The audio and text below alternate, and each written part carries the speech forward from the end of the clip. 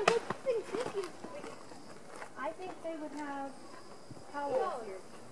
Cool. I would probably have shows.